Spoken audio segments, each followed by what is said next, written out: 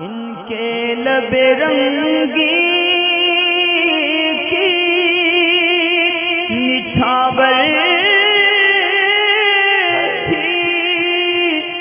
जिसने इंजीनियर इकराम अंसारी है, मालूम ये करना चाहते हैं कि अगर कोई सिंगर गाना गाने वाला, अगर वो शख्स मर जाए तो ऐसी सूरत में उसकी नकल करने वाले जितने लोग हैं उसके गाने सुनने वाले, क्या इनका अजाब भी उस सिंगर पे जाएगा या नहीं जाएगा? अभी दरअसल सिंगरों के सवाल ज़्यादा आ रहे हैं, मालूम नहीं क्यों। लेकिन ये कि अभी जो मामला हुआ कुछ वक्त पहले, वो क्या नाम था उसका? लड़का था एक शायद जो एक्सीडेंट वगैरह में उसका इंतकाल हुआ है। उसके ताल्लुक से मेरे ख्याल से सवाल है। लेकिन ये कि इसकी दरअसल ये यकीन के साथ नहीं कहा जा सकता कि उसकी मगफ़रत के बारे में या उसका गुनाह जारिया जारी है या नहीं, दरअसल इसमें सूरत ये होती है कि बिलफर्ज अगर किसी की मौत इस तरह वाक़ होती है कि ये बात यकीनी थी कि अभी उसने कोई तौबा का इरादा नहीं रख रखा था और ये कि अभी उसने तौबा का इरादा नहीं रख रखा था और गुनाह ही में मरा। मसलन ये कि कोई शख्स जो गाने वगैरह गाता है इस तरीके के गुनाह के काम करता है और अभी उसके गाने गाना जारी है और ये बात यकीनी है, मालूम है कि उसने अभी इन चीज़ों को छोड़ा नहीं है। क्योंकि अगर ये चीज़ छोड़ते हैं तो ये चीज़ भी लोगों को मालूम चल जाती है कि हाँ इन्होंने अभी इस काम से तोबा कर लिया। तो जब तक इन्होंने तोबा नहीं की, मालूम नहीं चली तो ज़ाहिर है कि अभी उनका इरादा तोबा का नहीं था। तो अगर कोई शख्स ऐसे हादसे में मारा गया कि जिसके बारे में ये चीज़ बिल्कुल तय थी कि अभी उसने तोबा नहीं की और आइंदा भी उनका प्रोग्राम था गाने वगैरह का तो फिर तो ज़रूर उनके लिए ये चीज़ गुनाह जारिया ही होगी। लेकिन फिर भी कन्फर्म के है या नहीं तो अल्लाह तबारक वाली बेहतर जानने वाला है।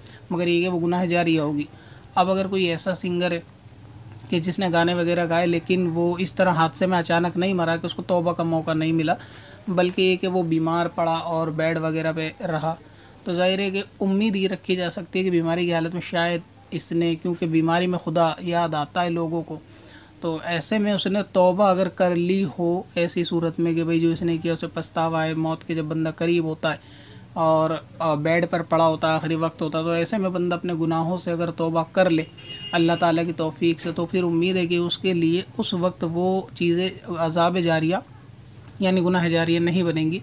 अगर अल्लाह तबारक व ताली ने उसकी तौबा कबूल कर ली और उसको मुआफ़ फरमा दिया तो ऐसी सूरत में फिर वो उसके लिए गुनाह जारिया नहीं बनेंगी।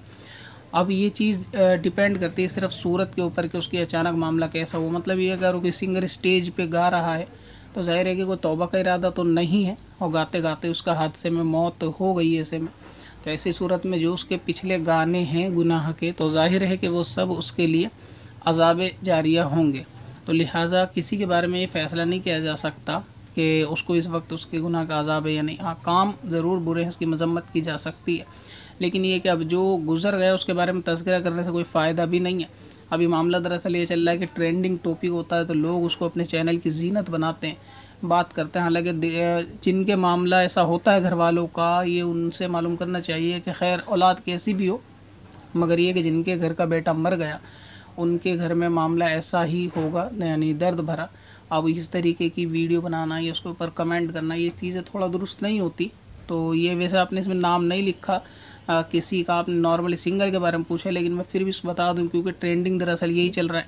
अभी क्या है कि यूट्यूब के ऊपर कुछ न्यूज़ चैनल चलाने वाले भी न्यूज़ चैनल हैं। अब वो इधर उधर देखते भी नहीं हैं। और उनके घर में जाके उनके वालद से मैंने देखा था। कि इंटरव्यू वगैरह ले रहे थे कि आपको कैसा महसूस हो रहा भाई जिसकी औलाद चली गई उसको कैसा महसूस होगा? आ, ये वक्त कोई वीडियो वगैरह बनाने का तो नहीं होता है। अब ये क्या होता है कि इनकी खुद गर्जी होती है अपना चैनल चलाना होता है। इन बदबख्तों को तो ऐसी सूरत में किसी के हमदर्दी नहीं होती सिर्फ़ अपने चैनल चलाने के लिए मैत के घर में जाकर। कि आपको कैसा लग रहा है, कैसा फील हो रहा है, किसका इंतकाल हो गया उसके बेटे का और तो उसकी माँ से आप पूछो कि कैसा लग रहा है तो क्या आपको जवाब वो देगी? और ये एक सवाल को तो दस बार दोहराते हैं, आगे पीछे घुमा फिरा के तो ये सब उनकी, यानी बदनसीबी ही होती है कि ऐसी सिचुएशन में सब मामले नहीं किए जाते। और ये तो थोड़ी लोगों की शर्म हया करते होंगे, वरना इनका बस ना चले तो मुर्दे के मुँह में भी माइक दे दें और उससे भी मालूम करें कि आपको मरने के बाद कैसा महसूस हो रहा है। तो इस तरीके की बातें हैं कि अगर बिलफर्ज कोई ऐसा मर गया तो मगफरत की दुआ उसके लिए करें, अगर उम्मीद हो कि सही उलकीदा सुन्नी मुसलमान था। बाकी एक गुनाह जारी रहेगा, अगर ऐसी सिचुएशन पे मरा कि उसने तोबा नहीं की और अपने गुनाह पे कायम था गुनाह करते वक्त और आगे भी गुनाह करने का इरादा था तो उसके किए गए पिछले गुनाह सब उसके लिए गुनाह जारी आए। जो लोग उसको फॉलो करेंगे, उसका भी गुनाह उनके सर पे जाएगा। जो लोग उस गाने को गाएँगे, उसका गुनाह भी उनके सर पे जाएगा। और अगर उसने तौबा कर ली थी सच्चे दिल से और उस बात को इसकी शर्मिंदगी थी। और अल्लाह तबारक बताल ने उसकी तौबा कबूल फरमा ली तो ऐसी सूरत में। फिर उसके गाए हुए गानों के, इस तरीके की वीडियो का गुनाह जारिया तो नहीं होगा। मगर जो शख्स देखेगा, उसको इनफरादी तौर से उसका गुना यानी इंडिविजुअल तौर से उसको ज़रूर मिलेगा, क्योंकि हर शख्स पे हराम से बचना ये वाजिब है। और हर शख्स को फ़र्ज़ को अदा करना ये उस पर फ़र्ज़ है। लिहाजा इल्म दीन का हासिल करना और इल्म दीन में ही ये चीज़ आएगी कि हराम क्या है, हलाल क्या है। तो ऐसी सूरत में अगर वो शख्स इंडिविजुअली सुनेगा उसके गाने जिस सिंगर ने तौबा कर ली थी तो फिर ये गुनाह जारिया नहीं होगा और उसको इनफरादी तौर से उसका गुनाह सुनने वालों को ज़रूर मिलेगा क्योंकि अब भी वो आ, अकेले ही सही मगर हराम काम ये कर रहे हैं। उन पर ख़ुद पे भी शरीयत को फॉलो करना लाजिम था उन पर ख़ुद पे भी इल्म दीन लाजिम था। तो अब वो अगर सुनेंगे तो इस सूरत में सबके सब वो गुनाहगार होंगे। पत्थर में वाले पुरनवार